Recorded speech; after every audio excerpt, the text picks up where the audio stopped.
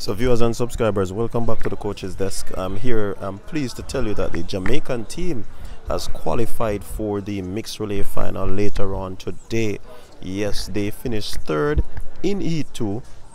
Uh, they had Bartley, Tiffany James, Demish Gaye, and Roneisha McGregor running um, that, that, that, that mixed relay. And they did well for the most part, finishing in the automatic qualifying. They were be, uh, in front of them you had Ireland and Dominican Republic. So we're expecting this team to go out and put up a good fight. If you ask me if there's gonna be a medal, you never know. But we are pleased to tell you that we have made our first final of the 2022 Oregon World Championship. So look out for Jamaica in that final.